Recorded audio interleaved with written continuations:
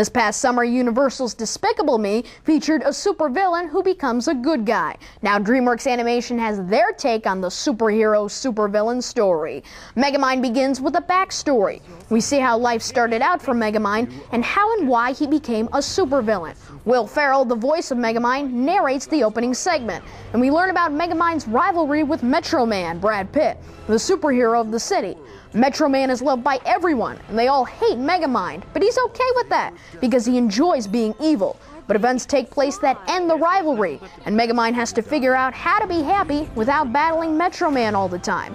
One way might be by starting a relationship with TV news reporter Roxanne, voiced by Tina Fey. But how could she ever like him? I have to point out once again that the trailer for Megamind gives much too much away and really spoils the enjoyment of the story. When are studios going to realize the damage they're doing to their customers, the movie going public, by including too many details in their trailers? It's a problem that needs to be addressed. As for the film, it's much more of a light romantic comedy than an action comedy, and that's surprising. And while adults may enjoy it more because of that, for the target audience, kids, it's disappointing. I expected a lot more laughs than the script provides and a lot more action. The tone of the film is very low key, and after the opening scene, when the two arch enemies fall to Earth, the story remains locked in Metro City, holding back the potential for more excitement. As with other recent films, Megamind suffers from not having characters that the audience can like and root for. Megamind himself is fun, but he's evil, then good, then evil, then good. Too much back and forth to stay attached to.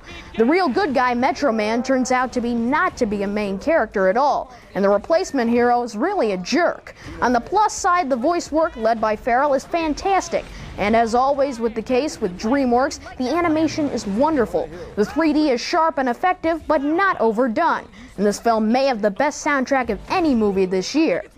There will be a lot of comparisons made to The Incredibles. Many of the Megamind characters even look like characters from that previous film. But while The Incredibles grabs you from the first scene and is jam packed with great action and a thoughtful story, Megamind focuses too much on what the characters are thinking and not enough on what they should be doing. And the romantic storyline just slows things down. Megamind is rated PG for cartoon action and mild language. It's appropriate for kids 7 and up, but I'm just not sure if they'll enjoy it. It's not a bad movie by any means, it's just not as good as it should be. On the official Kid Critic report card, Megamind gets a C+. It's definitely third among the 2010 DreamWorks films, behind both How to Train Your Dragon and Shrek Forever After. The studio will release two films next year, Kung Fu Panda 2 in May and the Shrek spin-off Puss in Boots in November. I'm Lights Camera Jackson, your Kid Critic.